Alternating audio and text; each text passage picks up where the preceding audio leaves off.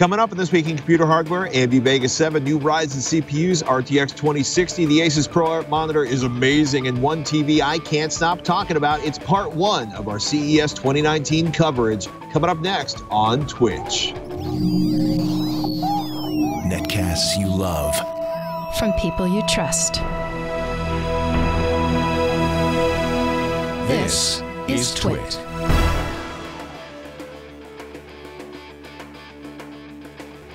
This is TWiCH, This Week in Computer Hardware, episode 499, recorded on January 10th, 2019. AMD Radeon 7, new Ryzen CPUs, NVIDIA's RTX 2060. It's CES 2019. This episode of This Week in Computer Hardware is brought to you by On Deck. Are you a small business owner in need of capital today? On Deck can help. With over $10 billion in loans and an A-plus rating from the Better Business Bureau, On Deck is a lender you can trust. Find out more at ondeck.com slash twitch. Welcome to TWiCH, this week in computer hardware, TWiCH Weekly Show that aims to bring you those useful, most engaging, most informative, and occasionally most slurred introductions with the least use of consonants ever recorded at the Twitch production facility. I'm Patrick Norton. I'm in the media room somewhere between the Venetians and the Sands here in Las Vegas, and uh, freshly returned home, showered, and I suspect, if he's lucky and the baby didn't cry all night, relaxed. Sebastian Peak joins us from PC Per. Are you feeling good about what you saw at CES this year, Sebastian? I am, and yes, I am well. I'm well rested, showered. Uh, I'm I'm comfortable right now. I'm warm. Uh, I have my home around me. It's it, you know, Patrick. There's nothing. There's no place like home. Truly. Uh, but yeah, I'm sorry. I'm sorry. I, I skipped out early and left you there. I apologize. It's okay. But, I I did get a special treat. Uh, and I waited uh, in a in a press event that lasted considerably longer than it was supposed to because I was so full of hope that it would show up. And uh, uh, we'll talk about AMD's announcements in a second. But I, I should ask you, there, there, are two big GPU announcements this week: NVIDIA RTX 2060, AMD Vega 7.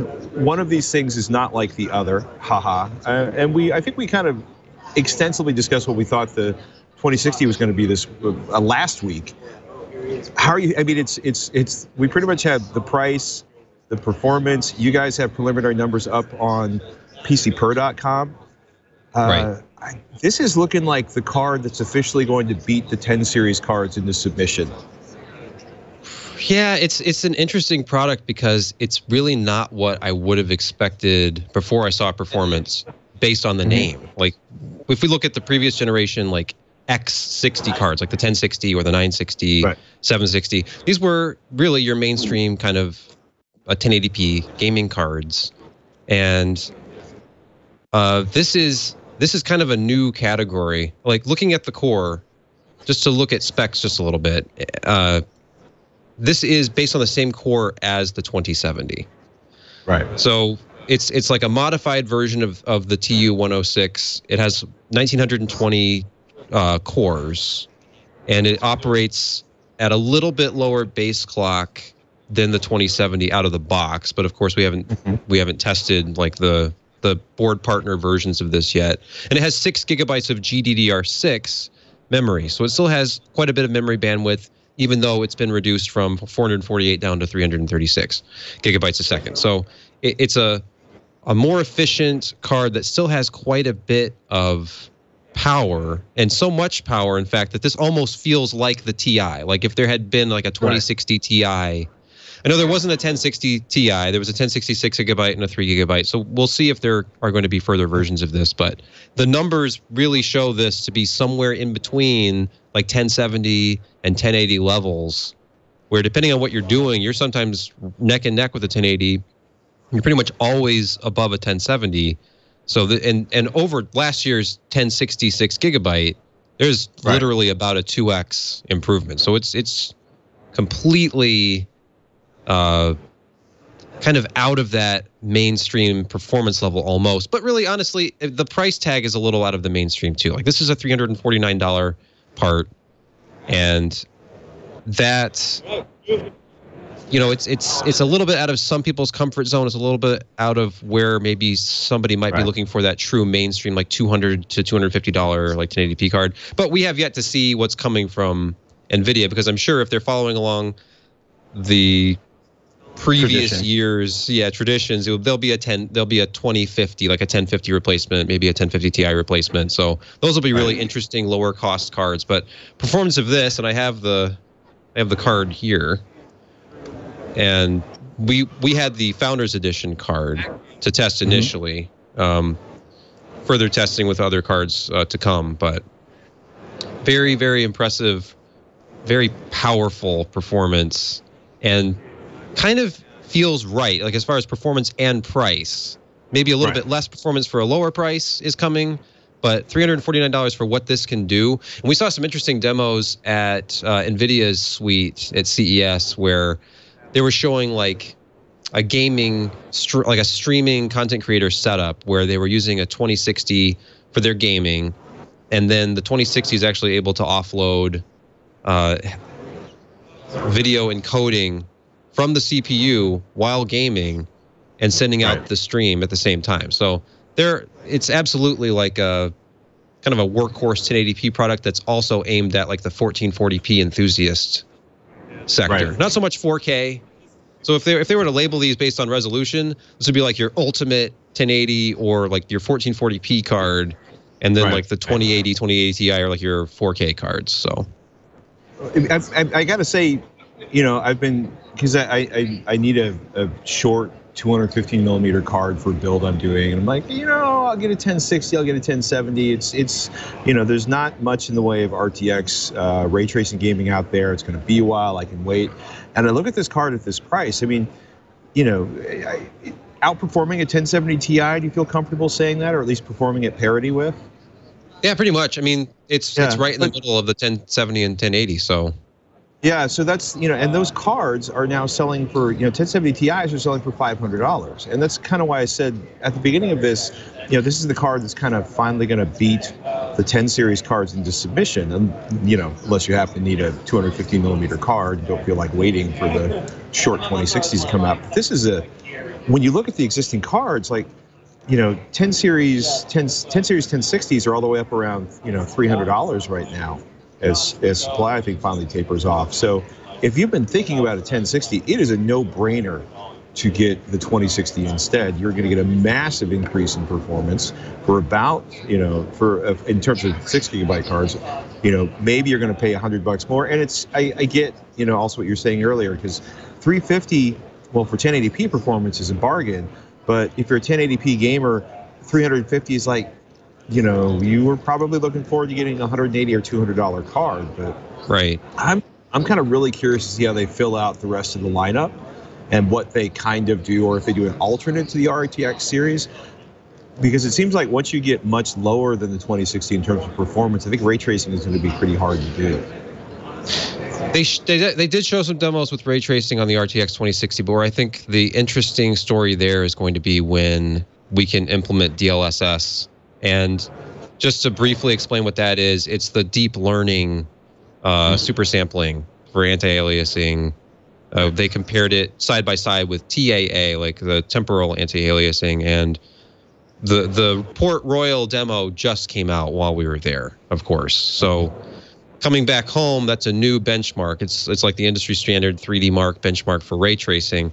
But Right. what is not yet enabled in that benchmark is the DLSS support, and that is coming. And they had a pre-release version to show side by side. And essentially, what you're getting with DLSS is about the same visual quality, if not in in certain cases actually better. Like the way that they explained it and the way that it looked in person was it's able to intelligently identify like defining the edges of objects so it can maintain sharpness at the edge and the smoothing happens like throughout the image so Right. it, it ends up being a little bit less soft looking than just taa does so but the big thing is the the performance improvement so it was running at significantly higher frame rate with DLSS. And on the other side of the room, I saw a demo running on a 2060 that looked absolutely playable. So Mhm. when we get DLSS support in games, I know it's coming to Shadow of the Tomb Raider, and uh, I know Battlefield 5 has been kind of the poster child of ray tracing so far.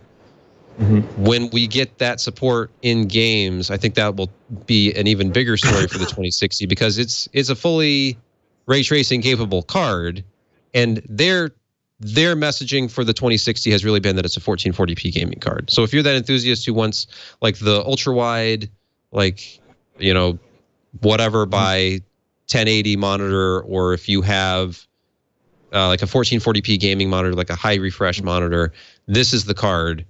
And I imagine there will be a 1080 focused solution coming later.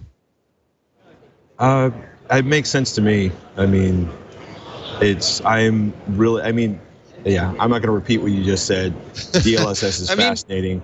It's no, It- no, it no, but it's, it's, it's, it's it's mysterious and fascinating. Like the little I Yeah. read about it, it's like I I would love to like dive into this and find out exactly what it's doing. But it's the results are definitely impressive as far as the fact that it's more efficient because it's using fewer samples and and the frame rates are absolutely higher. So it's uh, in, in, in case people are like, well, why don't you know more about this? It's because NVIDIA hasn't really shared much information. And when they got into the Turing architecture, this is how they explain DLSS.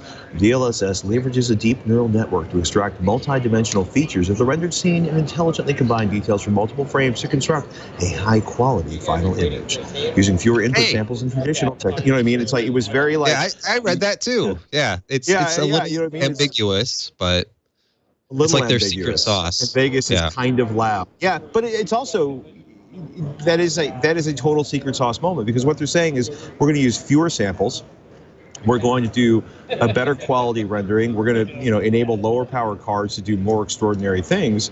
Um, you know, and we're going to use AI to do it. And you know, back off, kid. We'll let you see it when it's done, and you can tell us how cool it is. Um, you know that that reminds me of when I was uh, getting into talk about VR headsets that use eye tracking to enable like more intelligent foveation, like when you have just Right. just the area of focus is all you really need to have rendered at high resolution with high textures, and the rest of it can kind of gently blur off into the background. DLSS almost sounds like the same kind of idea where it intelligently decides what needs to be done to make it look good instead of just everything has to be done the same at every frame, which is where it really kind of bogs down the system.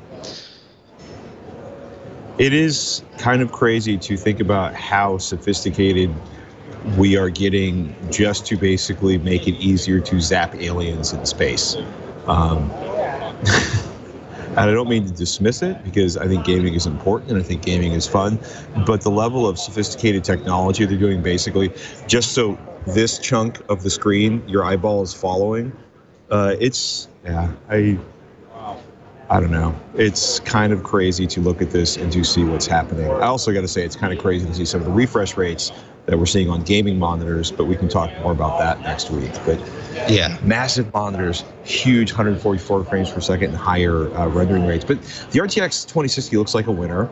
If you have a 1080p monitor, it sounds like you should probably wait to see what happens next, unless 350 is something you don't mind spending. Um, AMD Vega 7. I I was expecting. I was all set to see desktop Ryzen uh, parts being released and some loose details on the next generation AMD Vega cards. But this is this is if their numbers are legit, this is a huge step up from first generation Vega. And also a big sort of thumb of the nose to half the planet who manufactures chips because they're running at seven nanometers. They're they're running a seven nanometer process for this. Yeah. I, I you know, I was so ready for desktop that I was actually uh, sitting at the airport making charts for desktop based on uh, early like leaks and that sort of thing because I, I wasn't I wasn't briefed on it. Uh, Mhm. We'll we'll talk more about that a little later because uh, I know AnandTech had like the inside scoop on some of the desktop that's coming up. But Vega seven or Vega two, uh, you know, when we first saw the the trademark of the image, that's where all the speculation started. It's like, is it seven? Is it Vega two VII? And whatever you choose to call it, it is absolutely the second generation Vega part. And Right. one of the things that I found was, you know, fascinating about this. It wasn't very long ago that we had news of the JEDEC specification changing for high bandwidth memory two, and up to 24 gigabytes, uh, denser stacks, still at the same bandwidth. And here comes Mhm. this part with 16 gigabytes of the the fast HBM2 with just crazy amounts of memory bandwidth available, and that's something that it, I believe it was Samsung that worked with with them on the standard to get that kind of uh, capacity where we had previously not seen anything. I think eight gigabytes might have been the limit with the previous generation, but mm-hmm. it I and and anybody who questions the price, uh, you know, at six ninety nine, it, it's a probably a very very expensive proposition to put 16 gigabytes of HBM2 in a product at this point. Right. But uh, still, I mean, relative to the market, if it's putting up $700 ish gaming numbers, then that price totally makes sense. We have yet to see that. February 7 is the launch. Uh, it's like just the, the, the, the specs we were shown are that it has 60 compute units, which translates into 3,840 stream processors and the core clock is 1.8 gigahertz. I've already seen some discussion about, well, right. what if you put it on liquid? Because we saw some liquid versions of previous Vega cards, and absolutely, I, I would hope that there's the band, the uh, headroom to go faster with uh, exotic cooling, but we'll see. I would Did love you, to see some early performance numbers. Did you see it was uh, or feel it because they they were very heavy duty on comparing it to the previous generation Vega. They had a lot of, of their own internally generated benchmarks for that. Did it feel odd to you that they didn't compare it specifically to any NVIDIA cards, or does that seem like sort of a gracious, you know what our existing cards do in performance, you know how they compare to the existing NVIDIA parts, you know, figure out they they just, they didn't seem to call out NVIDIA at all, and given how happy and cheerful they were uh, with the third gen Ryzen information to call out Intel specifically. Did it seem a little odd that they were just kind of, we have a much faster card. It's awesome. Look at our seven nanometer. It's so much faster than our first generation card. And never really kind of got anywhere near doing side by side or discussion of NVIDIA. Well, there was definitely, it seemed almost as much focus on content creation as there was on gaming. And yeah. we, we know where their confidence is. We know that AMD is supremely confident in their processors at this point because I I don't know if I'm ready yet to say that it's it's kind of like the Athlon XP, Athlon 64 era where they had mm-hmm. such an advantage with like price performance and just fantastic right. lower cost parts for for mainstream consumers and gamers. But now that and of course they also have Threadripper, which is just a fantastic the, the more cores, the better. I mean, I right. And this product, I'm not sure. I mean, on on one side, anyone who is in the like Mac ecosystem, like OpenCL, uh, anyone who uses Radeon cards specifically for their compute, this is a more powerful mm-hmm. solution. But for gamers, I think it will come down to not just preference like brand loyalty, but performance. Right. And for them to compare it against previous generation parts makes sense for them. Like you said, maybe if they're not maybe if they're not as confident about showcasing their card versus the competition at this point, which anytime you don't directly call them out, like you said, they're they're more than willing to call out Intel. Right. And so I I will wait and see. I'm not going to make any hasty judgments here. Right. But yeah, it, it kind of seems like they might be waiting, but I, it sounded like they had final uh, clock speeds, unlike yeah. desktops. So if, if this is it, if this is 1.8 gigahertz, its final product, they, they know internally what it can do.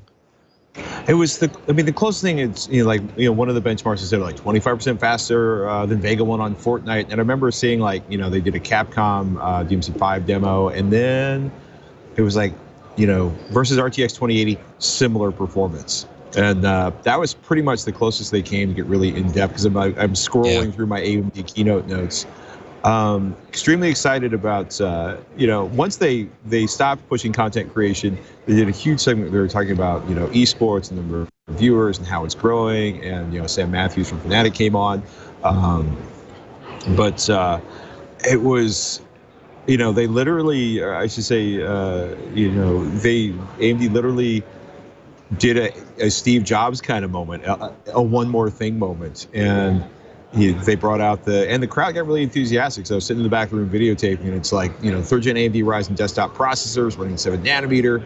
Um, you know they showed it. They're like this is early silicon. Uh, they were I guess they were running Forza at 100 plus frames per second.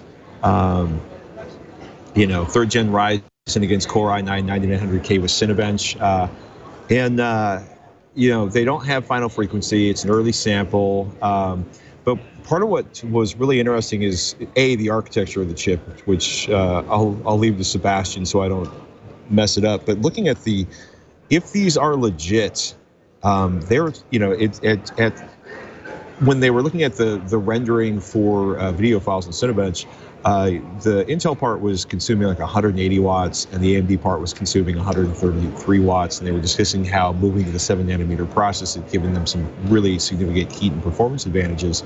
Um, and it was interesting to think of AMD as being the the processor consuming less power because I always think of AMD as being the processor that they, they they start hot and they get hotter and then they're ridiculously hot and that's just part of owning an AMD part. And you know I've I've got an 1800X uh, you know you'll pry from my cold dead fingers because I love rendering video on it so much but it was very interesting because that was a you know, they challenged the Core i9 900K on content creation.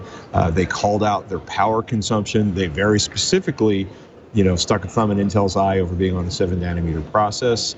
Um, that the chiplet die is kind of fascinating, right? The biggest, yeah. when you look at the chip, the close up on that, uh, Dr. Su held up, um, you know, that the the bigger die, the bigger the, the bigger black blotch in the middle of the CPU, uh, is that's the I/O and and that's handling passing bits between the Zen 2 engine and the rest of the system.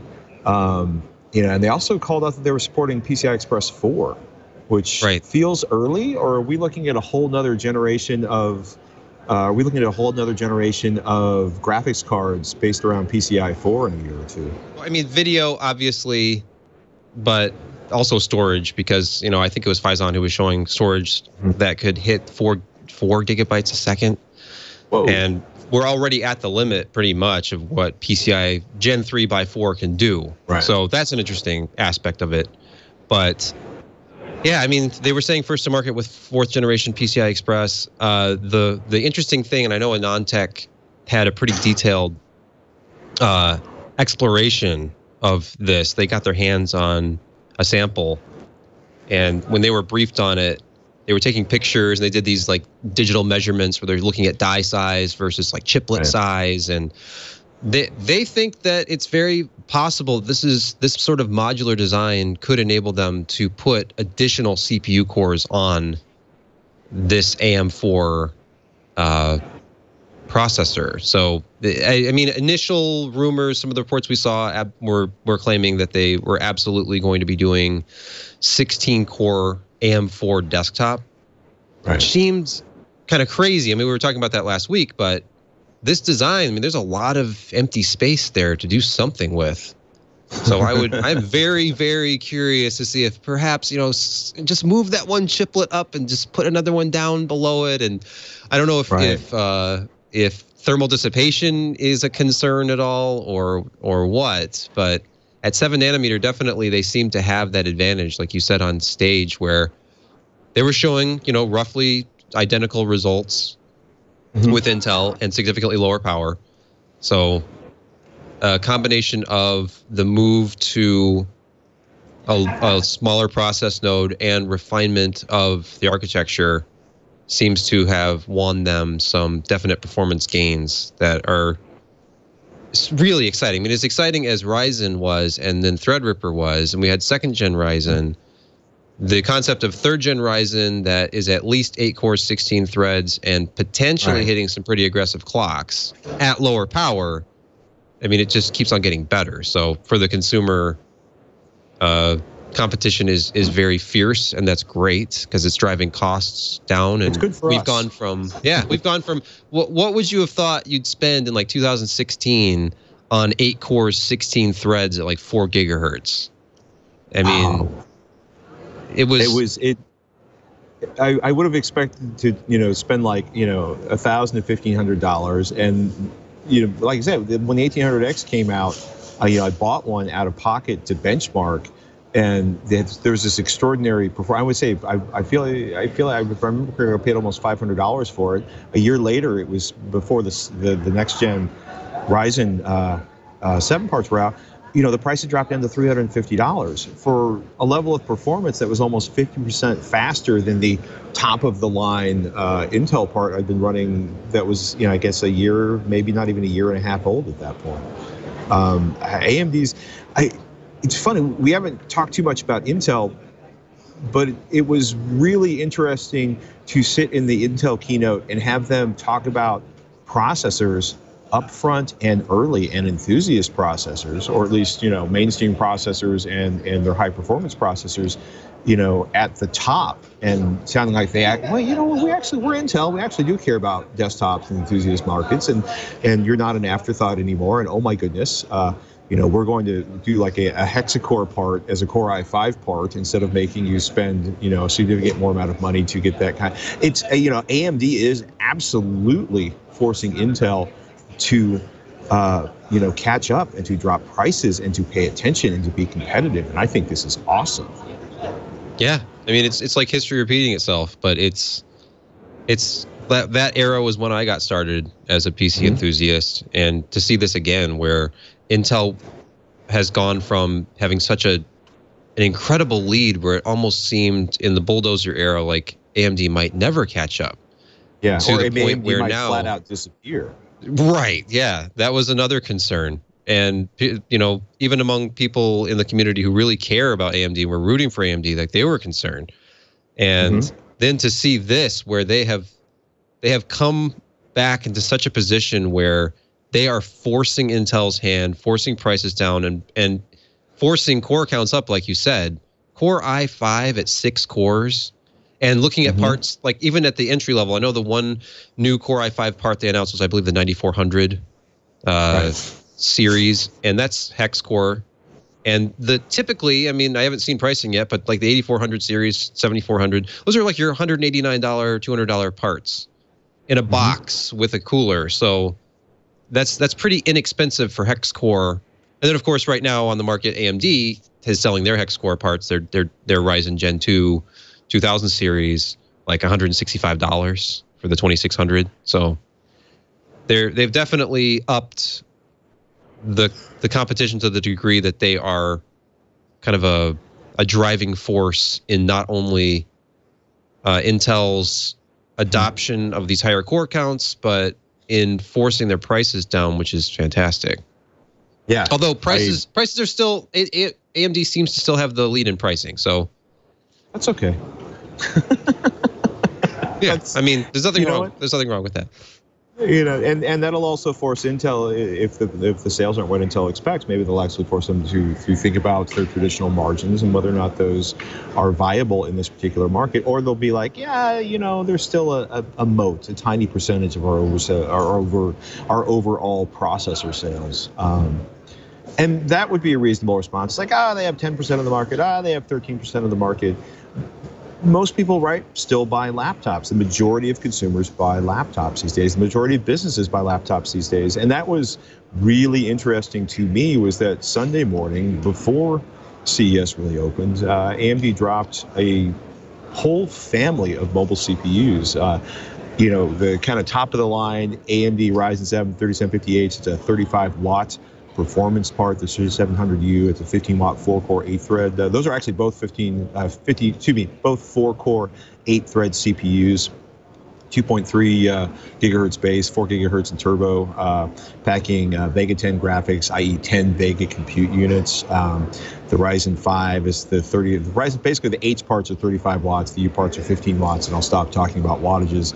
Um, you know, hey, you know, again, wattages matter for for notebook.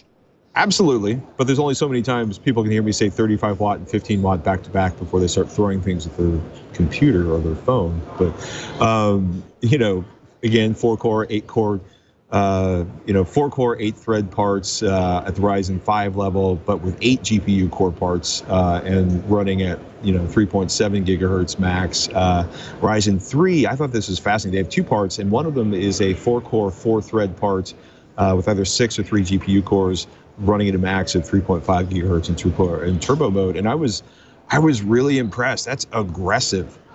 And if these Yeah. parts are as power efficient as I think uh, Ryzen mobile parts can be, this is going to be interesting to watch uh, Intel deal with because the idea of having you know a, a, a Core i3, a Ryzen 3 part that is uh, offering that many cores is going to offer a pretty noticeable performance advantage, I think, in general computing, especially at the price points parts like that usually tend to show up on.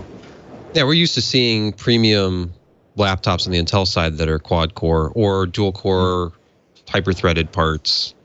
So to see, you know, eight threaded parts at Right. what I can only imagine will be a competitive price to the laptop manufacturers to implement is interesting. I know one of the things that I saw at the show at Asus was a all AMD gaming laptop series where they have the processor they have discrete graphics from their RX series but I think like you were saying uh, even for productivity uh, you're taking um like a mobile workstation or just general productivity device with you Right. as long as it's power gating uh, aggressively and you have a really good longevity uh, a 35 watt part is considered kind of like your high end typically even now but 15 watts especially those the 3500u the 3300u we could see those in some smaller form factors perhaps and sort of a similar thing to what you can currently find on the market with those ubiquitous core i5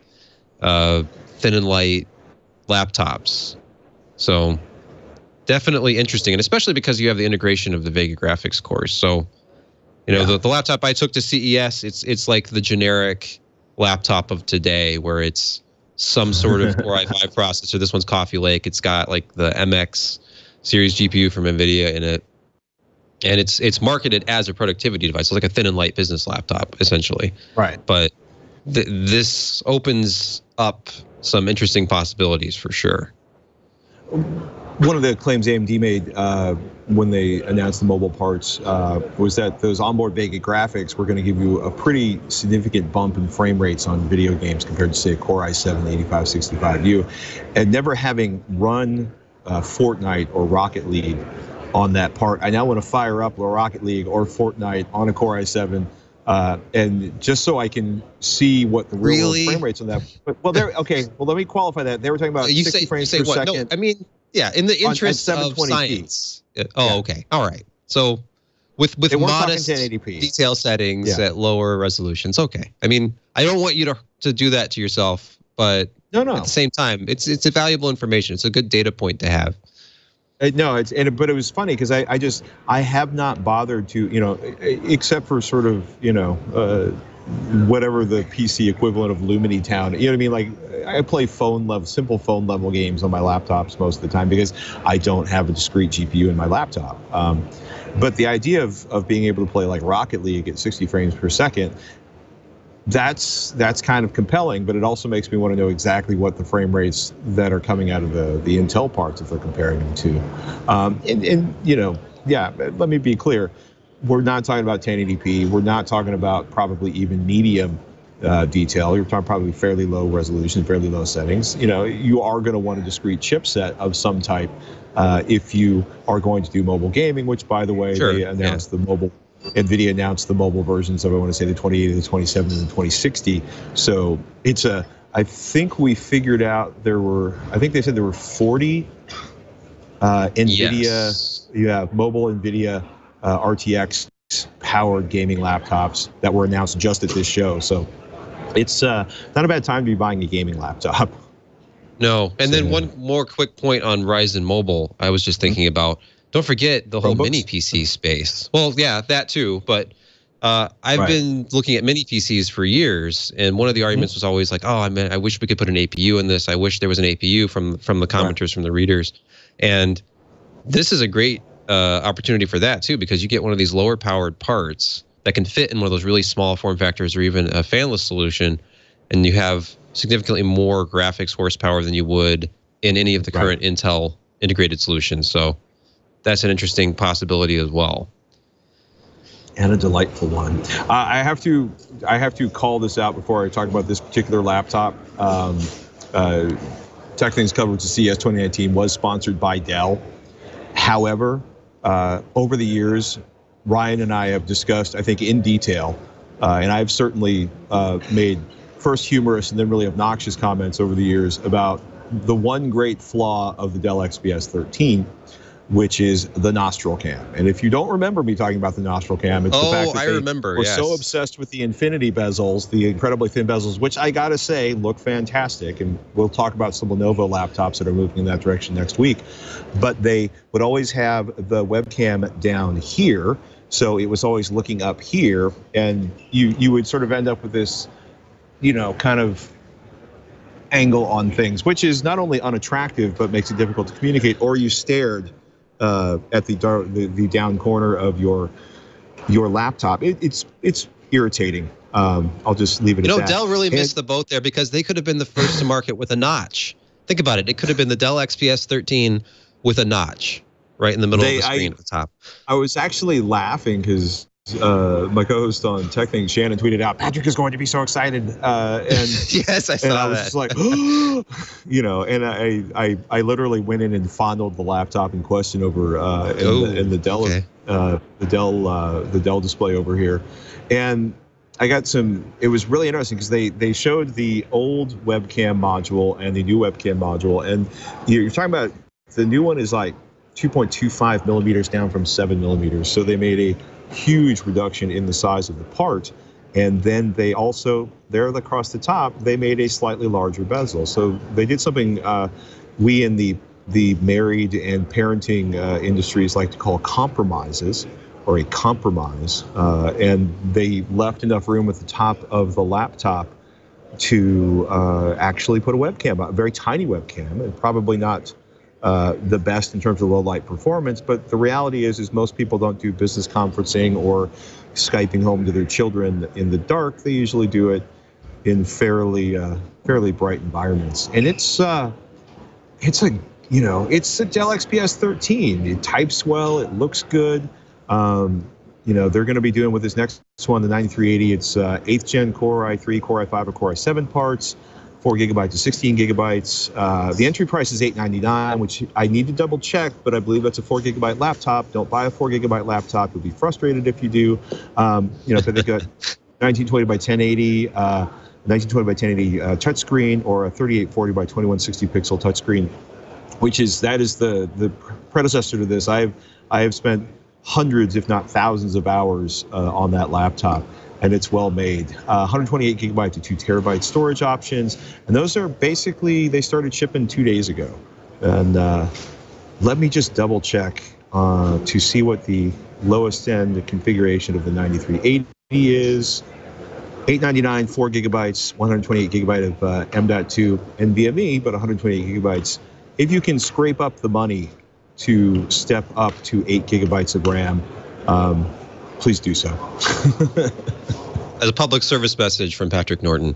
Sorry, I just I, I had a cousin that bought a laptop and it was cheap, and he found out why. Um, but uh, yeah, I, I would say that $1,200 configuration with 8 gigs and 256 gigabytes of M.2 drive would be a really good start on that. And you know, they're nice laptops. And again, in case you didn't hear me say it before, my coverage of Dell's Dell sponsored our coverage at Tech Thing of CES 2019. But this is also a laptop I've been carrying and abusing uh, and testing forever. And I'm just really delighted that I, you know, I, I, they, they will no longer be forcing the pain of nostril cam on their users. Not that that's Yep. really bothered the snot out of me for a few years. You know, I don't think that viewers really can appreciate if they're watching how like you you tried to recreate it. It's almost impossible to recreate without lowering your webcam down to the keyboard level and pointing Right. it up at the bottom of your face. It's So it's it, a, it was pretty extreme. it's a distinctly unpleasant view of almost every human being I've ever seen on it. Um, speaking of unpleasant and irritating, uh, I was also laughing on Twitter about this. it's a tradition. Um, when 4G started rolling out, uh, my antiquated uh, iPhone at the time, which was a four or a six, I guess a four, um, magically received an upgrade. And in the top corner, and if you, I don't know if you've got the, the Verge article on this, uh, Jacob Kastrenakes yeah. this one up. Uh, if you, I don't know if we can zoom in on that uh, at the mothership in Petaluma, but that there it is. You, Kevin, you're so wonderful. It says 5G. E. And I had a 3G phone that was always going to be a 3G phone because it only had 3G radios in it. And magically one day it became a 4G phone. Well, it didn't. Yeah. They just changed the, you know, display. So it would display 4G, uh, which I still to this day don't understand because wouldn't you want your customers to go buy a new phone that you would finance for two years and make all sorts of money off of? Uh, but this is, you know, this is just dumb. I don't know how else to say it. Uh, well, I remember back in the area that you're talking about when AT and T had the enhanced backhaul HSPA plus, and I, I don't know. Was that a permanent thing? Was the 4G icon a permanent thing? Because I could, I guess I was on other devices when I was playing around with that, and I was getting the HS like the the plus logo when I was connected to a 3G network, even if it it's wasn't LTE. Like, you know, it's it's kind of like being called a particularly obscene name by someone. Uh, you know, unless it's really part of your relationship, you always remember that and are irritated about it. And as soon as I saw this, all of the irritation, um, you know, of seeing that logo show up, I'm like, oh, it's 5G evolution. Um, but uh, you know, true to my commitment to to bring up projectors every single week. Uh, this is like this is like the 4K projector thing where it's like 4K enhanced Right. And it's it's really not 4K, but it's enhanced so it can like simulate 4K. This is like simulating right. some of the advantages of being on a next gen network without actually being on the next gen network. Right. I will say the the Epson 4010, which does pixel shifting or faux F A U X K, uh, looks absolutely stunning and gorgeous, uh, even if it doesn't have true 4K uh, uh, uh, projection. But it's it's uh, it's so odd, you know. It's a, there. It's, it's, it's. I just I don't know why uh, why AT and T does this. You know, um, they're basically branding parts of their existing 4G LTE network as 5G evolution. Um, you know, in theory, they're well, going to be faster than LTE, except it's all the same crap that you know. All this is set really more by the tower than the phones, and all right, the carriers yeah. have done this. It's not 5G, although 5G is a hot mess uh, for a thousand interesting reasons, uh, some of which I can't actually discuss on camera. Uh, well, I think well one of the things about 5G is like with right. the validation of the standard as to what it actually is. There were so many different ideas about what 5G could be at right. one point, whether it was like blanketing Wi-Fi throughout a, an environment or uh, combinations of different technologies working together, like microcell, and if if they are providing, and I haven't read the technical details of what exactly AT and T is doing if they're sharing that, but if they are doing some sort of aggregation where you're you're legitimately getting more bandwidth than you would on a traditional 4G network, then like the traditional LTE network,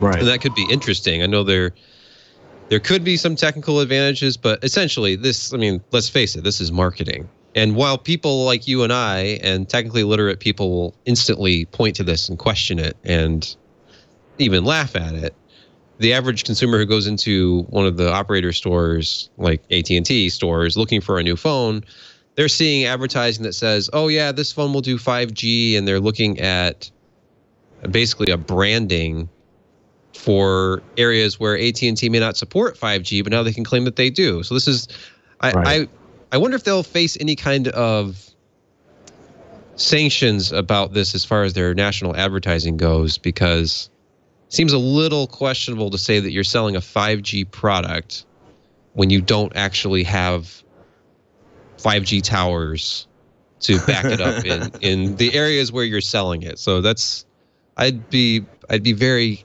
cautious about this if I were them.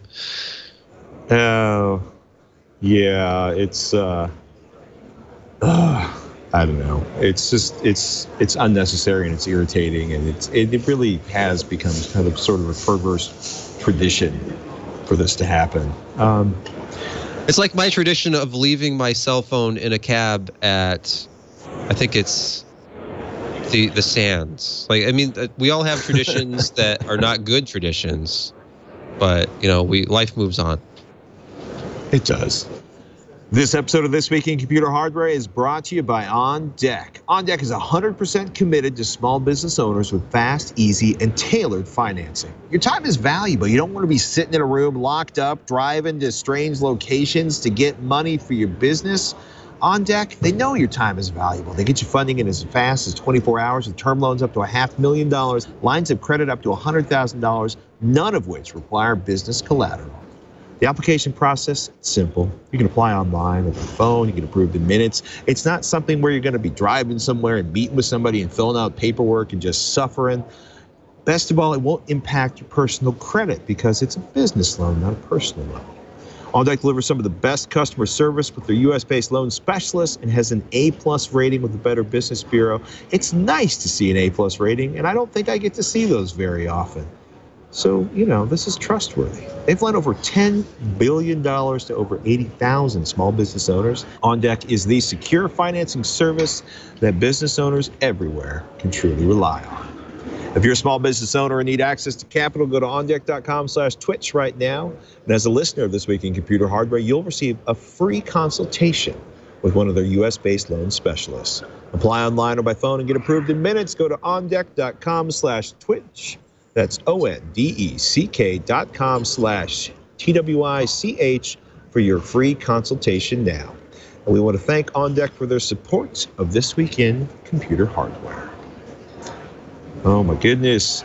Asus's ProArt PA32 UCX monitor, 1200 nits and a thousand zone backlight. You know, That's I staggering. yeah, I, I started on one side of Asus, and they were, I don't know if you visited them, but they were in multiple suites.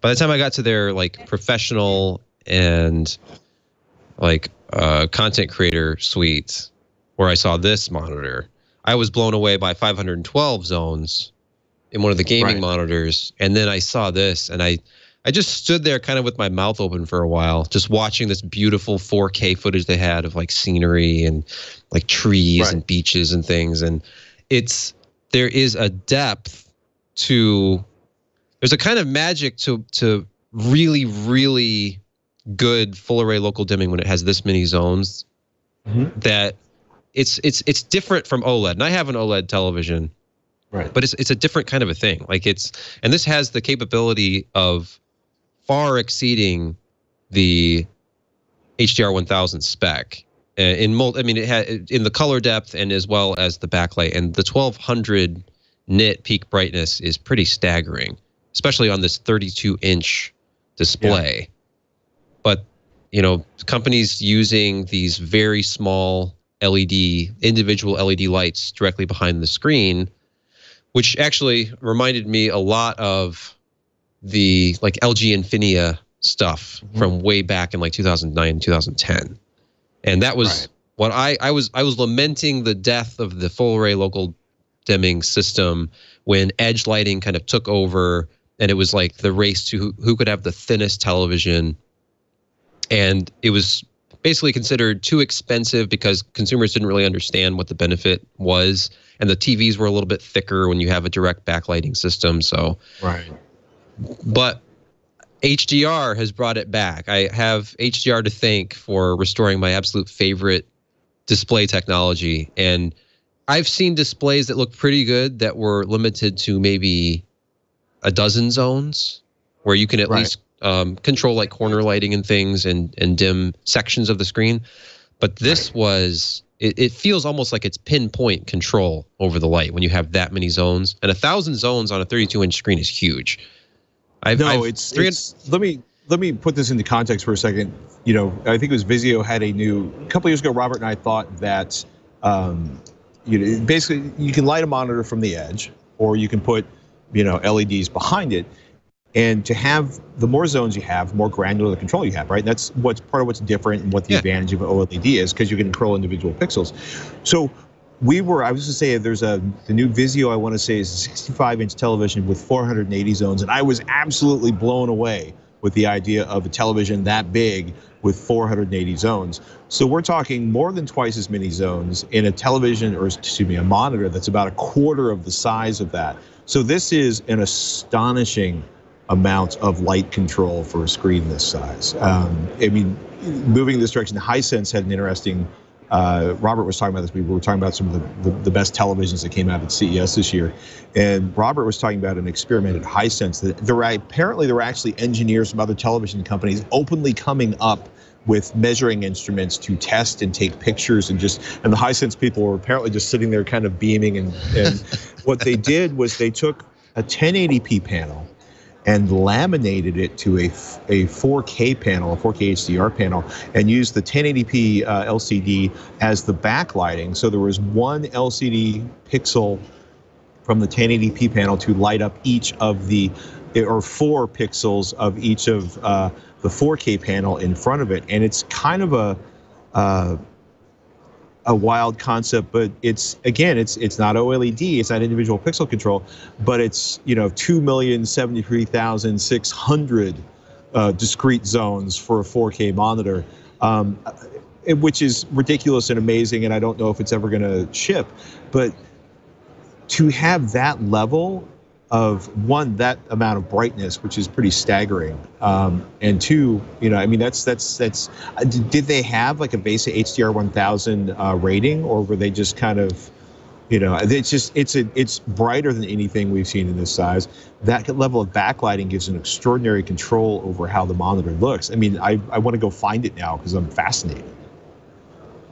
Yeah, uh, I, yeah, it does have the VESA 1000. They said they exceeded the spec. Uh, the the spec I think was actually shown, like the the logo. But yeah, I mean, you do have to see it because it. You can only sort of try to think about what that many zones would look like on that small of a screen. But like you're saying, I mean, the more pinpoint light control you have, and it's it's reminds me of what Sony did with their Z9 TV. I think that was a couple of years ago now when that was introduced. Right where you just have an insane amount of light. Basically, they have a low resolution display made of just white light behind the LCD. And right. the two are creating the same image at the same time. And the lower resolution image is providing the luminance. And essentially, at that point, the LCD is just doing chroma mm-hmm. because it is just filtering light. And the result is just staggering. Right. And it's, I, I hesitate to. Uh, I mean, I don't know the retail pricing, and I'm sure it's probably going to be up there because it's a professional monitor. Let's face it, it's a ProArt monitor, and it's it just the amount of money that probably went into R and D. Right. It, it, would not be unusual for a monitor like this to be four to six thousand dollars, especially depending on the level of, of sophistication and the calibration. Um, yes, exactly.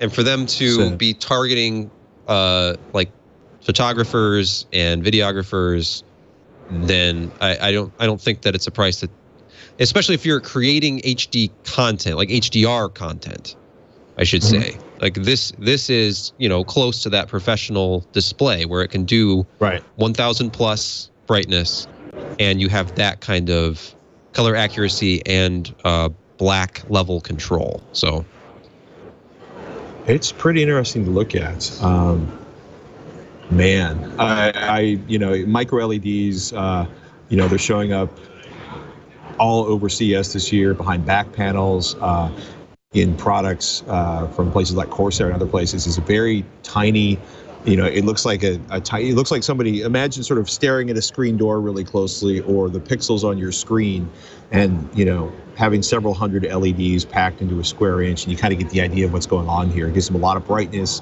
very different package a lot of granular control. Um, I think it's going to be interesting to see where this technology shows up uh, and uh, and how it uh, how it influences things moving forward. Um, so I want to give a shout out to SanDisk Extreme Pro Portable. Uh, SanDisk came out with the uh, Extreme, which is a small portable drive, which looks a lot like this, but is a little bit smaller and all plastic. There's a aluminum frame. You can kind of see the sort of the red bits poking out of there. And, and Sam just wants to point out that they don't want you to put this on your backpack with a carabiner. Um, they have that uh, that little loop there. You can scroll down and show it on there. They want it inside your backpack. It's IP55 rated, so it's it's fairly splash proof. It's fairly dust proof. You know, they tested to six foot drops, um, but that that loop on there is for a dummy cord to keep it attached inside your backpack. But they've they've taken the original one, they put aluminum in there uh, to make it more rigid, but mostly to dissipate heat because it's now an NVMe drive instead yeah. of a, a regular SSD. And the performance numbers they were talking about is they're flat out saying reads at a gigabyte a second. I'm kind of curious to get my grubby little paws on one and see what the write speeds are but uh, available uh, two terabyte, one terabyte, and 500 gigabyte versions, and those will be selling soon. And uh, yeah, if you know, these if, are ready if you to go. Constantly, yeah, I, yeah, I got I got my hands on them at, at Western Digital, and mm-hmm. they they're really focused on on trying to really saturate like the PCI 3.1 yes uh, bus as uh, the current generation bus as far as they'll go. Like like you said, gigabit per 2nd mm-hmm. or a gigabyte per second, I should say. So, uh, I, I am excited about faster storage. That's for sure. Yeah, I also I didn't know that the My Passport Go existed, and uh, which is their less expensive, consumer-oriented uh, SSD, which is basically smaller than a passport drive, has a USB cable built into it, so it's easier to store. Uh, it's you know it's not as as uh, you know you're not going to want to splash it in the water or play with it at the beach.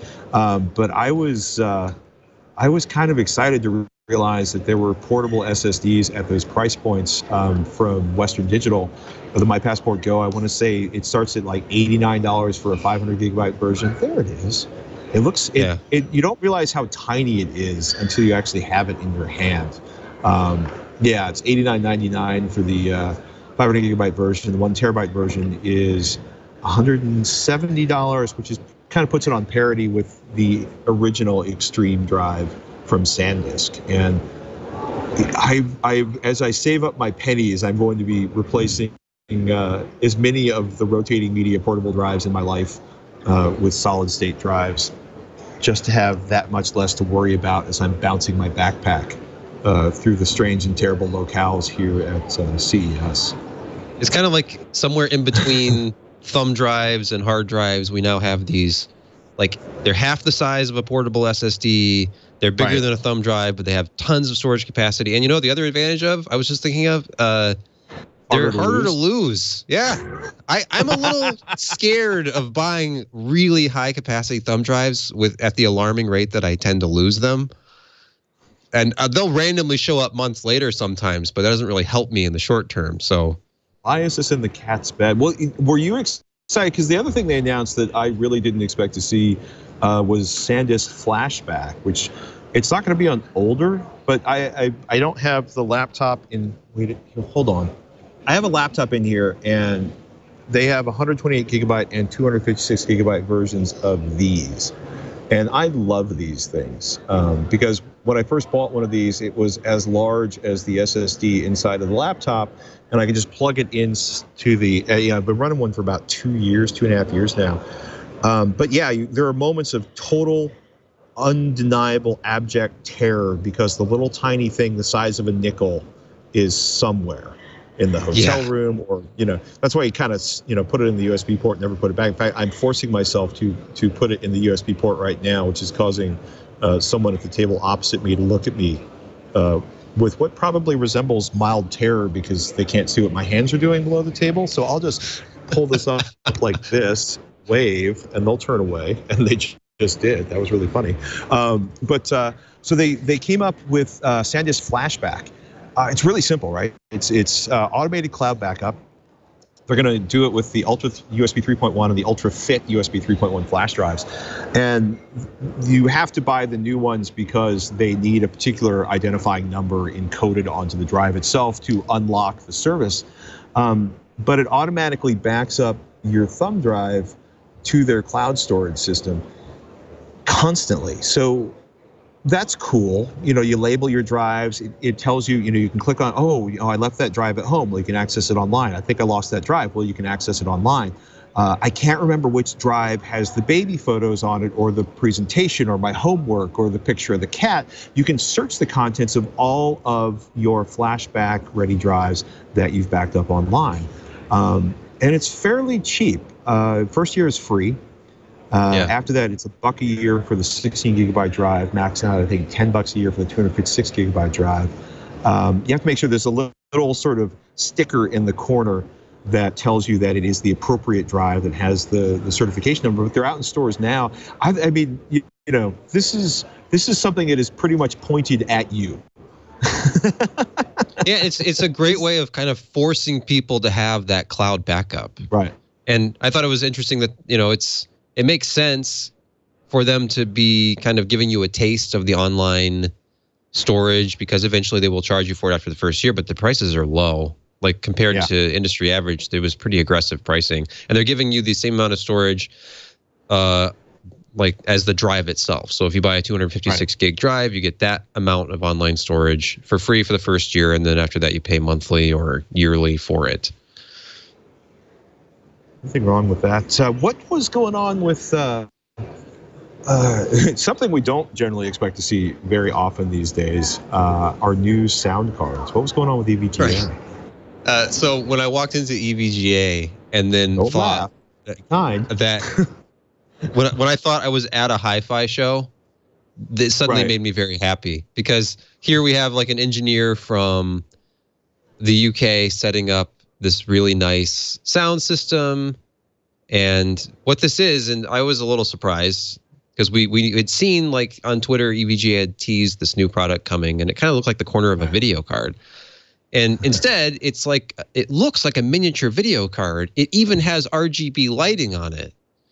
But it is a sound card. It's called the Nu Audio card. Right. And it's not just a sound card. This is like specifically geared towards audio enthusiasts. And it's first and foremost a stereo card. This is not like your typical gaming solution where it's a DSP creating simulated like 3D effects and that sort of thing. This is It's similar to the Asus Xonar cards that came Yeah. out several years ago, where they had a they sat down and decided to create a PCI Express card that was a badass stereo source. Yes.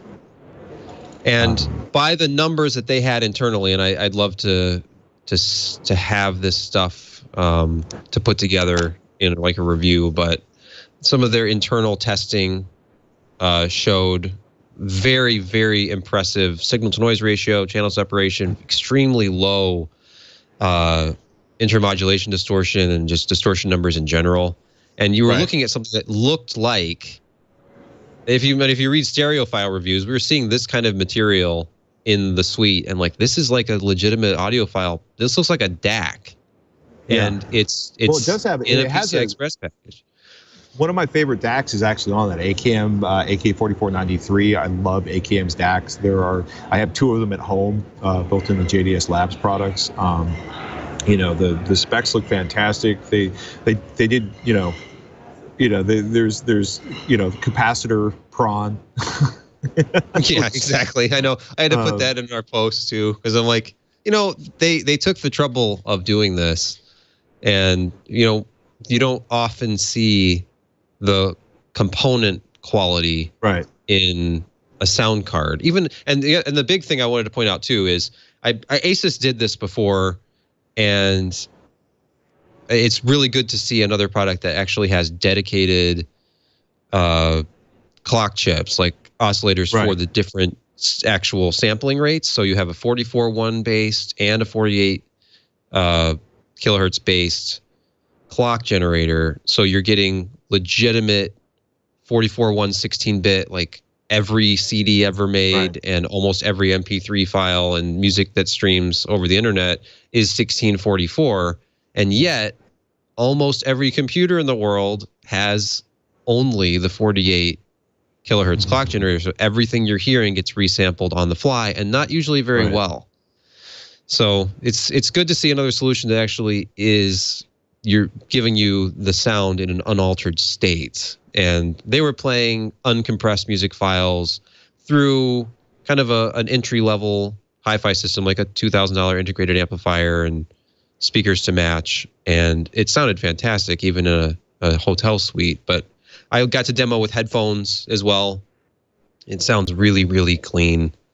And i i just personally was geeking out over two channel audio really? Uh, and especially from evga i'm thinking this is a gaming company. This is a graphics card company but hey, they're they are audio enthusiasts. I was very pleased to see the founder of the company was was showing off pictures of his home like uh, stereo rig, and That's funny. he he he's all about the two channel audio. So, and the price tag puts this in kind of an interesting position though, because I don't think a lot of people in the mainstream are interested in a, an audio card, period, because they are probably content Right. with motherboard audio, because they've never really heard the difference. And then uh, higher end audio solutions, somewhere in the ninety nine dollar and above range, are you know they're out of a lot of people's they're off their radar a little and this is $249 Right. so it's definitely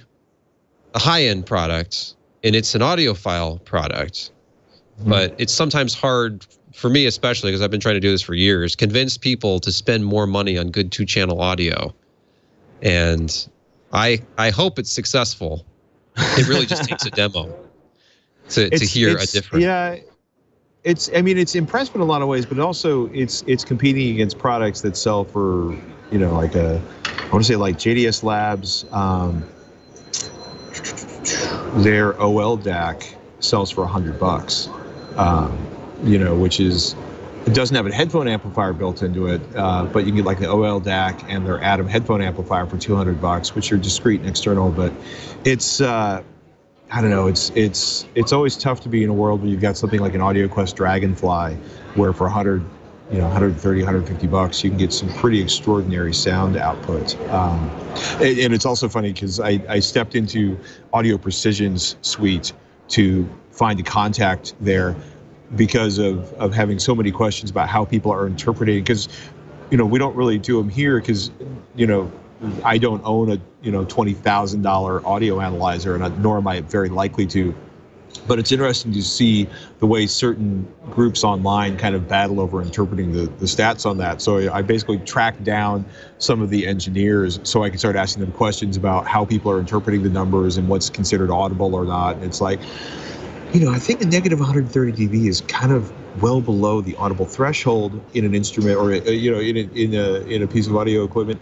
And why are people getting so upset about that? And uh, there may or may not have been some. Uh, uh, it's it's interesting to look at. I'm fascinated that they did this. I'm curious to see what the MSRP is going to, or I should say, what the street price is going to be versus yeah, the MSRP. yeah. And there, there's already early pricing for members of their. They have like a insider program, and that will be offered to those members at I think 189. So already looking at the possibility of perhaps a lower price going forward, I would not be surprised at all. And and one of the interesting things about this actually architecturally, I don't know if that's the right word. Internally, it's actually a USB device. So Oh, wow. it's a US it's a USB device bridged to a PCIe interface. And I I immediately asked the engineer from Audio Note who was there. Right. Uh, and he's like, I said, so will there be a USB version of this? And he kind of was like, yeah, that's kind of in the works. That was the sort of thinking. I, and no promises on any products or anything, but this is kind of like an introdu- introduction to sound from EVGA. It's sort of a an aspirational product, I think, for somebody to get into high end audio. And it's it, one of the ideas behind it is that because it is PCIe, you can put this into a small form factor build and then have something you could take with you that has like studio quality sound capability Right. without having to worry about bringing an external solution. So for, for people like to see what us, it's it's Yeah. interesting. Yeah, no, it's but it, it I don't know. It was it was also like I I got a chance to listen to some speakers. Um, there's some new fantastically priced. Uh, first of all, like air motion transformers, which is a peculiar kind of tweeter that looks like the side of an accordion, and it's pleated, and it goes like Yeah. this. And a company called Heil invented them. They were showing up all over the place. ELAC, uh, Andrew Jones from ELAC, and I won't put everybody to sleep by going ELAC makes great stuff for an amazing price because you've heard me do that a thousand times. Just did it again. Sorry.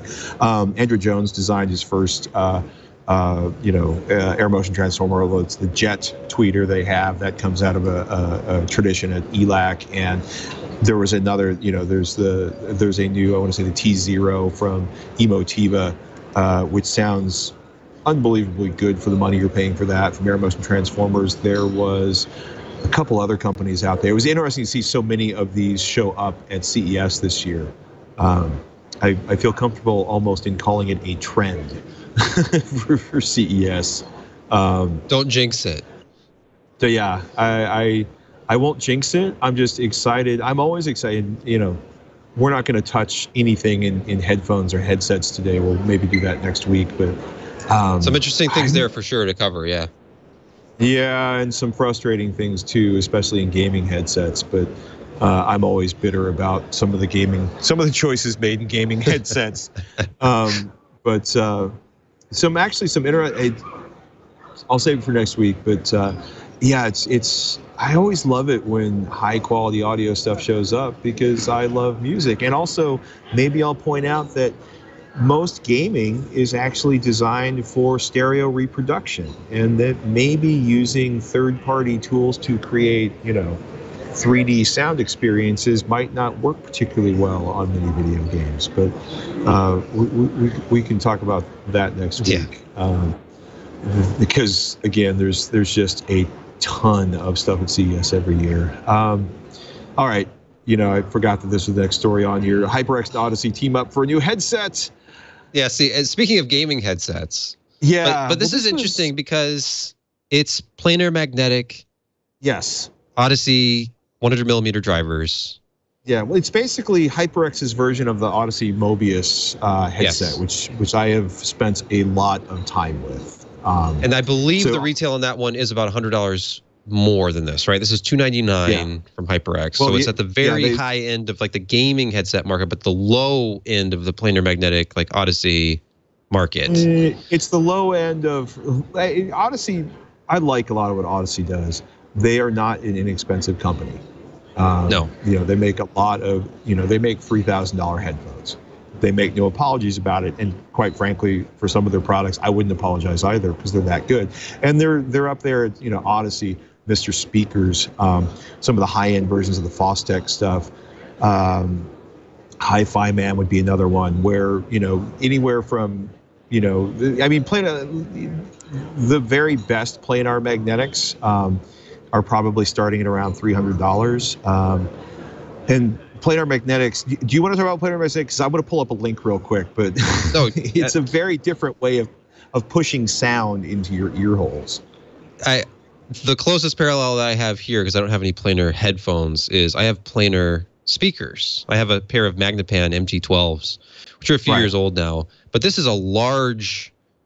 Uh, it's almost like a, a, window frame. You have something that's about four feet tall. This one's uh, about a foot and a half wide and an inch thick. The idea behind these is you have a very thin film, and Magnepan is a little bit different because they still have a coil, but essentially you have something that it, that is suspended between two magnets, and electrical like positive and negative charges can pull this film, this extremely right. lightweight film, backwards and forwards at incredible rates of speed, and do things that traditional uh, speaker coils just cannot do. Where you're you you worry right. about rigidity with speaker coils, which uh, you know uh, if you're not rigid enough, then you have distortion through different parts of the audio spectrum. But if you right. are too thick in the name of becoming more rigid, then you you lose out on the ability to move the speaker efficiently enough to reproduce the sound at higher frequencies. So it's it's really a fantastic alternative. The problem yes. is that historically it's been so expensive to implement, yes. and it was unheard of in in mainstream headphones. And there are even planar magnetic earbuds now from Audeze, but right, that's a subject do, for another day. Yeah, I mean, Audeze they've they've done more to push planar magnetic technology into different places than any other company out there in terms of, of uh, the iSINE, which is a very small, or the SINE, which is a very small over ear or so on ear uh, planar magnetic headphone. Um, the eye signs, which are the in ears, the earbuds you were talking about. Um, yeah. But they, you know, when you look at when you when you look at planar magnetic technology, the only stuff under $200 used to be uh, Fostex T50 RPs, which sound extraordinary, but they kind of disappear below 60 hertz, which sucks if you're dealing with explosions or you like have full round uh, bass drum uh, setting. You know, they they do an extraordinary job rendering. because you know Sebastian was explaining when you when you have you know when you take something that's like a sophisticated version of Saran wrap. Uh, and run electricity through it while suspending it between two stators, you can accelerate and decelerate it incredibly fast, which gives you extraordinary resolution or, or the detail. You know, cymbals sound best when the decay or the the the you know backside of the the sound is rendered more accurately, and being able to precisely control that that driver uh, is really amazing. But you know, right now you can get HiFiMAN's HE uh, 400i's for about 180 bucks.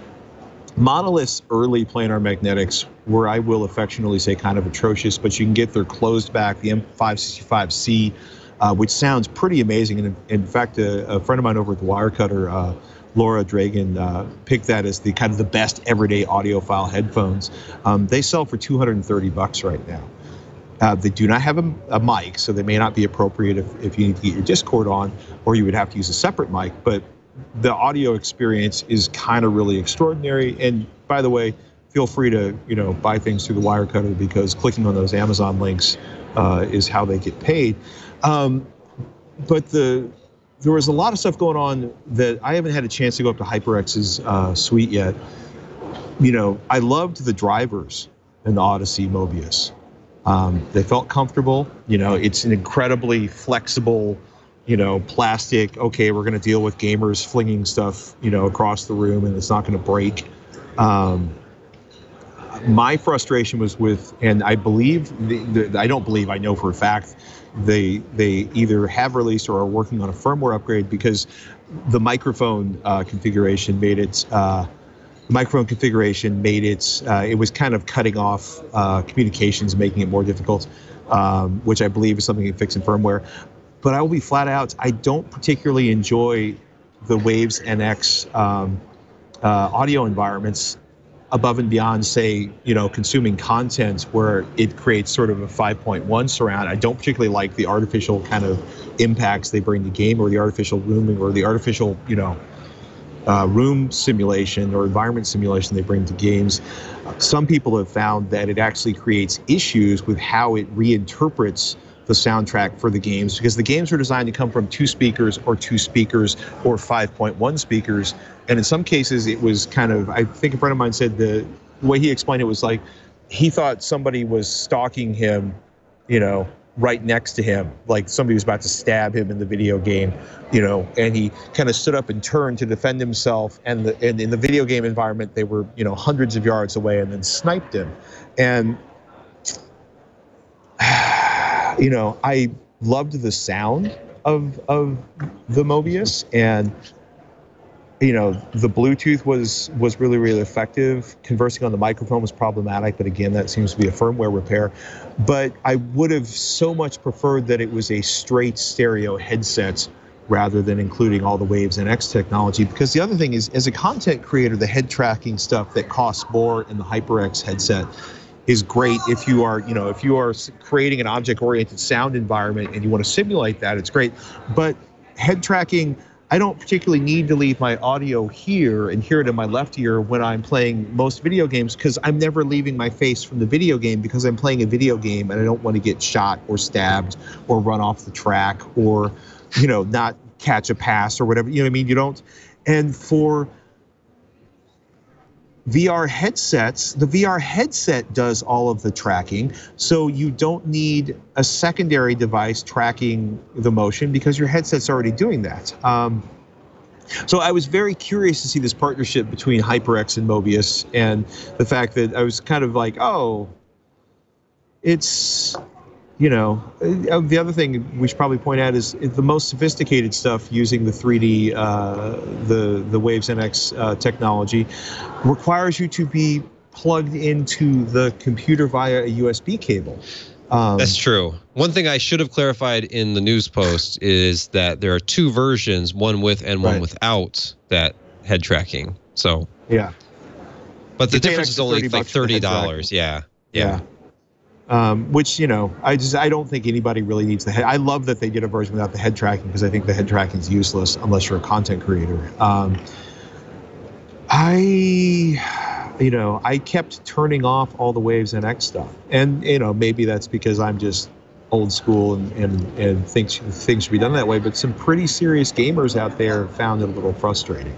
Um, I also, you know, like this without Waves NX technology, an onboard amp, and a true wireless. I, I just, there's so many good things going on with the driver uh, that I was kind of I was I was kind of surprised actually to see uh, to see this come out from HyperX because HyperX does some very affordable, extremely good gaming headsets for the money.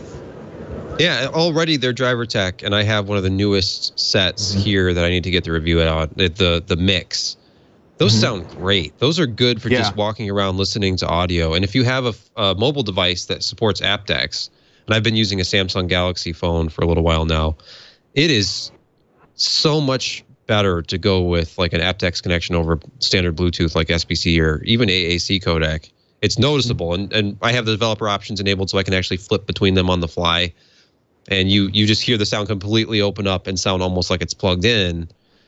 So it already I consider them like a higher end headphone option that I have to grab around the house. If I don't want to worry about wires, and they have a at the price point that they go for, it was already pretty compelling, even for music listening, beyond just its gaming capabilities.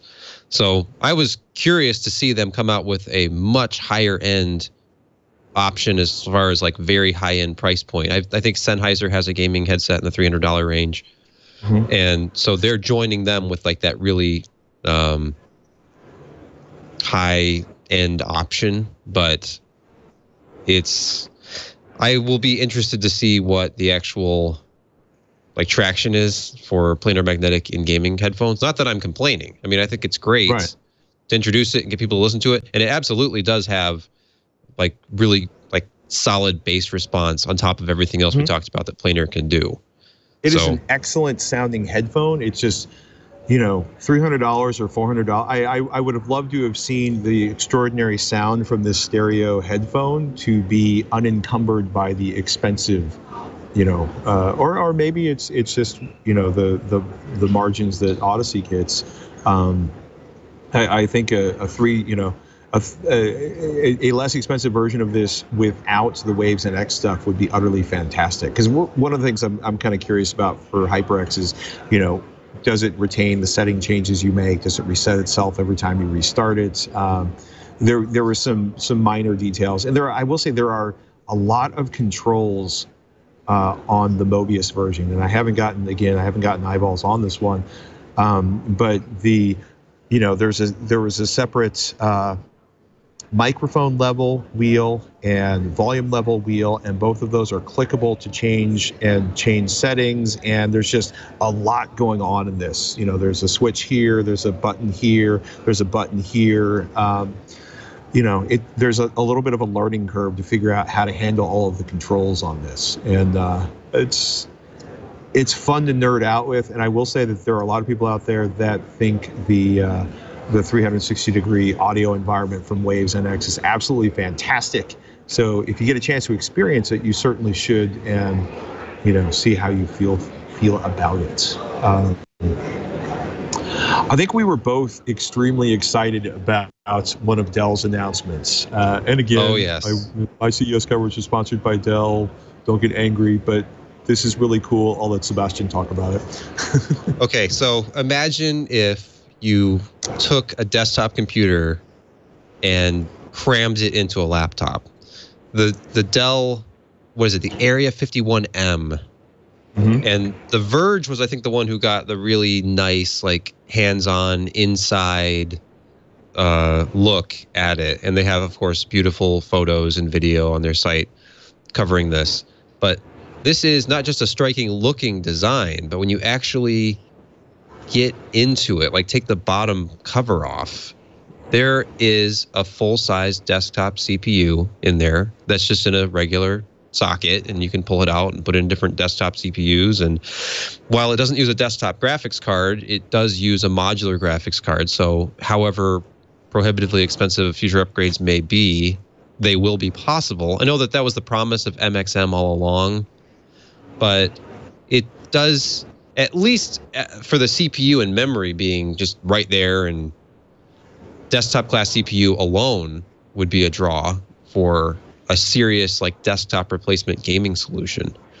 But it's just a fascinating concept to me that you're putting let's see what is in here 9700 to 9900k intel cpus in here so Mhm. a core i9 with uh, rtx 2080 in a laptop which uh, i'm sh- i don't know if they're even talking battery life at this point. I'm sure it's just going to be plugged Right. in. It reminds me of the days of the luggable computer form factor. Mm-hmm. where you know preceding laptops when you would essentially just put a handle on a desktop tower. Like a, a small form factor in that era was of course about 40 pounds and you had to have it directly plugged in to use or maybe there'd be some giant battery pack attached to it somewhere but this is a just awesome to me in the I, I love the idea of like the the bigger thicker much more powerful idea of that ultimate gaming laptop, which they're calling the world's fastest gaming laptop, I, which I don't doubt, even if it's just CPU performance. And judging by the the pictures of the massive heat pipes, uh, I'm sure that it's probably pretty adequately cooled as well. Yeah. I I- yeah I I I I was laughing because of course somebody in the Dell booth pulled up um, solitaire on it. Oh Um, my which Apparently, is kind of a, well, it- people people have their humors, um, but uh, you know, I- I- Solitaire I, at 500 frames a second. I, think they said more like three thousand frames a second. Oh, okay, all right. yeah 500 vastly higher frames per second than the monitor can actually render but uh it was you know it's it's it's big it's a 17 inch laptop right so it's a lunch tray but that level i mean just i i like you i you know they flipped that thing over and i desperately wanted to flip it over and start undoing screws but i didn't feel like being beaten to death by any number of very nice engineers and marketing people that were in the dell booth um, because I wanted to see how you know how the card was secured in place. Um, the fact that it's got an upgradable, you know, or the option of upgrading the CPU is mind blowing because we saw stuff doing this, you know, back in the '90s where they would put a desktop, uh, kind of kind of a chipset. Uh, they would kind of kludge, I think is the word I would use. They would kludge a desktop motherboard inside of a PC, but they were atrocious. The battery life was measured in milliseconds. They they ran hot, they ran loud, and you know this this is a well thought out way to put a staggering amount of computing power in a very relatively small package uh, with a nice monitor attached to it. And you know I see this showing up. I can think of you know video edit- video editors who would like this, people that are doing you know engineering applications, geoscience. I mean, there are a lot of people who who use computers in strange places under difficult conditions that would really enjoy having a massive increase in power uh, over what they can get in a in a laptop. And I think it's it's crazy and ridiculous, and I think it's pretty cool. But you know, again, I'm a nerd, and I you know deal with rendering video uh, on laptops and and editing and stuff like that. So it's pretty compelling. Again, I've been sponsored by Dell at CES 2019. Don't get angry, but this thing's you know, I like moonshots. I like ridiculous over the top products uh, that make me happy. We haven't even gotten to LG's roll up TV, which Yeah. is a 65 inch OLED that scrolls up and then retreats down into its sound bar. And it's a big sound bar. It's like 12 inches by 12 inches by by four feet, give or take. But you know, it's mesmerizing to watch that screen roll up because it is just as absolutely gorgeous as any OLED that LG has ever made. And we haven't seen the measurements yet, but it is, you know, I don't I don't get giddy over stuff, but that I was pretty giddy watching that monitor. I sat there and, you know, watched multiple monitors. They have a, a display where they're going up and down and it's it's kind of like watching the fountain at the Bellagio.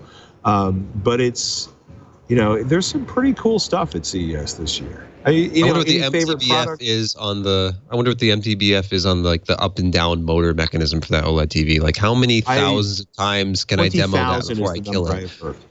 Really? Okay. Yes, that that is the number that that that they were talking about. I, I think, I hope LG uh, did a good job on that because 20,000 is a staggeringly long time. I mean, you need an angry four year old with a lot of free time to, to get through 20,000 cycles on that uh, in any non decade kind of length uh, cycling period. But it's a pretty, I don't know, it was cool to watch and they're absolutely gorgeous. Um, any last products you want to mention? Anything that you saw on the show floor that just absolutely grabbed you?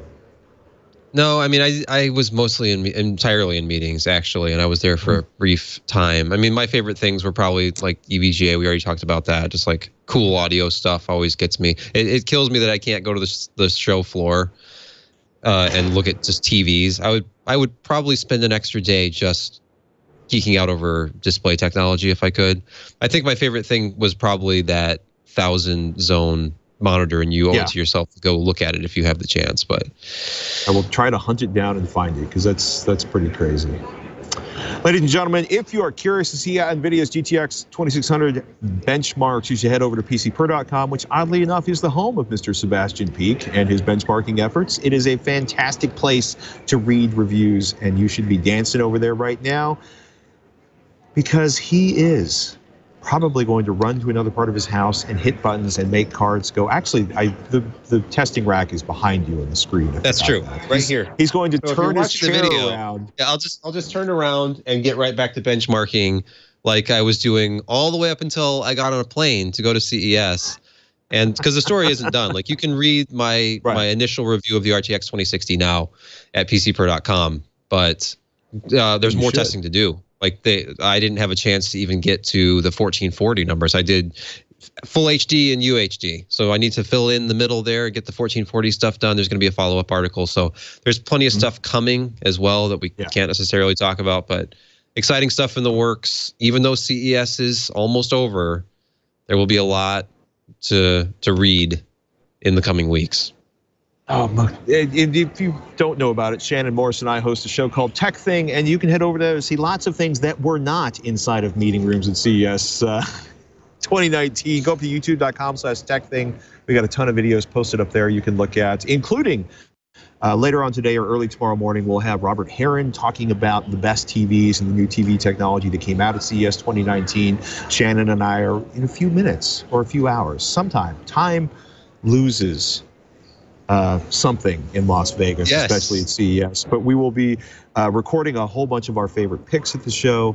Uh, we've got a bunch of high resolution videos so you can see what's going on with some of the products we were talking about in the show today. Uh, and man, oh, you should point out if you're looking for a new laptop, keep an eye out on youtube.com slash tech thing because I think how many laptops, Shannon just walked up, how many laptops were in your video of laptops from CES? I think I had like seven, six seven. or seven. Yeah, there's. And that was just what I saw. There are a lot of laptops here. Um, and if you like laptops and you're thinking about upgrading, you should definitely check out that video, youtube.com slash tech thing. And I am going to, well, run and start uploading and downloading video again because it's that time of day, people, to get the production on. Ladies and gentlemen, you've been watching This Week in Computer Hardware. We call it TWiCH. You can find older episodes up at twit.tv slash Twitch, including all the information on how to subscribe. As I mentioned before, Sebastian Peak can be found at PC Per. You can find me at tekthing.com or avexcel.com. And we hope you have enjoyed this episode of the show, and we hope you will keep watching it in the future. And uh, ladies and gentlemen, I'm Patrick Norton. I'm Sebastian Peak. We'll catch you next week on TWiCH.